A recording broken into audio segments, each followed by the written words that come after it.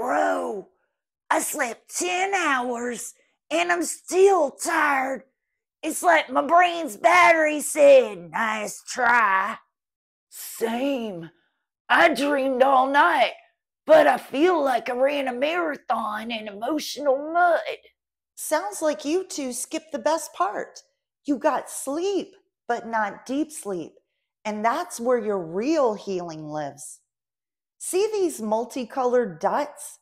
They represent your glial cells, and they are all over your brain. When nightmares start to fade, the brain moves into the deepest repair phase REM. During REM, the hippocampus finally hands off the files to the upstairs department, labeling them as past. And that's when the unsung heroes, your glial cells, clock in. They're the night shift janitors that clear inflammation, cortisol residue, and leftover adrenaline from the day. But they only do their best work when you hit deep sleep that's why sleeping 11 hours can still leave you exhausted.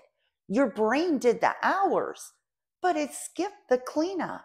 Deep sleep is your nervous system's detox cycle.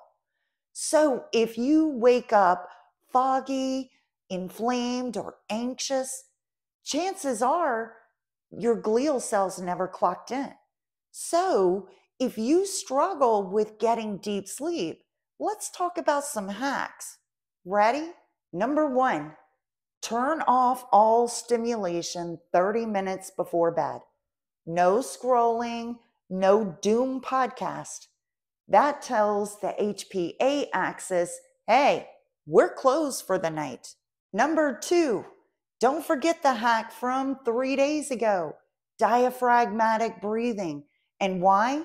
because it powers down the HPA axis and powers up the parasympathetic nerve, your body's calm system.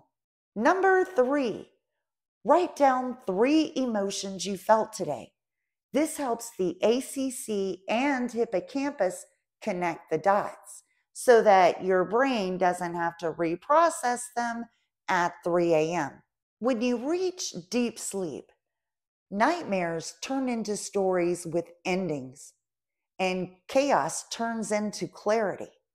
And the hippocampus files it, the glial cells clean it, and that's the science of peace. Tomorrow, we'll talk about what happens when the reward center finally comes back online.